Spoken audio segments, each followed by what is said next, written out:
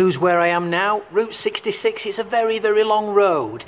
But here at the moment we're in Flagstaff, Arizona. And with me is Blake, and he's the man who does all the Segway tours. Blake, what's Segway and what can we see in Flagstaff? Hi, thanks for coming. Segways are the goofy machines that everybody wants to ride, but nobody really has one.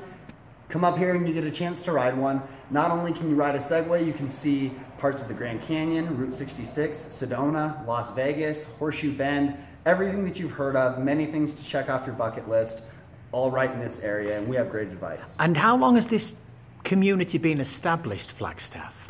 Flagstaff's been here for about 125 years. We have a very uh, big logging history, and then now we have uh, transitioned into welcoming guests of the Grand Canyon and visitors from all over the world. And isn't there a big movie industry going on around here? There's a huge movie history. Everybody's seen the movie Forrest Gump. Flagstaff's where he steps in the big pile of stuff to make the bumper sticker that stuff happens. Um, all the westerns were filmed right around this area. Um, the Hotel Monte Vista is one of the most haunted places in all of Arizona, and all the rooms are named after old actors and actresses that have stayed here over the years. Now, one of the other big must-sees is Lowell Observatory. Tell me very quickly about Lowell Observatory. Lowell Observatory has a phenomenal history in the astronomy community. Um, they have a great facility. It's a wonderful tour, and it's highly recommended for everybody. And what was the very briefly? What was the incredible story you told us about the guy who borrowed borrowed ten million dollars to build it? So the whole telescope was built almost sort of under a false pretense that there was life on Mars, based on a photo that was taken where an eyelash fell in between the viewfinder and the lens of the telescope with the camera, and so it was misinterpreted as an irrigation ditch. Uh, once they built the telescope, they realized that it was an eyelash. They, re they realized their mistake and were just devastated. But then it saved the day because that telescope was used to discover the planet Pluto years later. And so it really rebounded the reputation. And then there's something called Riordan Mansions. What's that? Oh, the Riordan Mansion is a phenomenally cool mansion. It's all it's a whole log building um, where these two brothers, the first lumberjacks in the in the area, um, built this big mansion, one for one and one for the other, and then connected the two so that then they could do community living and raise their children together and kind of have family meals and everything.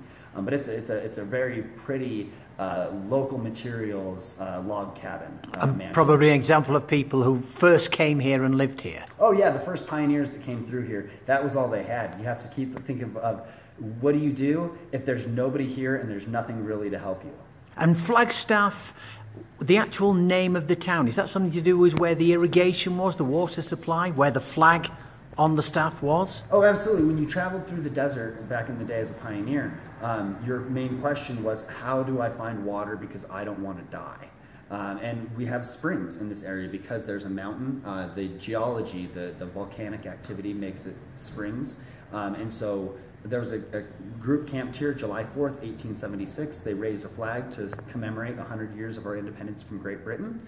And uh, uh, they went along their way, they left, and then they left the flag here. So then it became a common question to people traveling along the road where's the next stop for water? And then um, say, go until you get to the spring at the base. finally, please give us a plug for yourself. Where do people come for a Segway tour? What does it cost? And where do we find out about you? The Grand Circle Outpost is located at 19 West Aspen Avenue. We proudly host AZ Segway and Pedal Tours. Uh, they're $89 uh, a tour. We see everywhere around the, the area. You're on the machine for about 90 minutes. It's about a two hour experience. Um, and Do you have a website or a Facebook page that they should look at? Yeah, AZ Pedal Tours, AZ Segway Tours. It's all, Google it, we're, we're everywhere online. Brilliant. Thanks very much, Blake. So there we are. Route 66, folks, Northern Arizona, Flagstaff. Enjoy.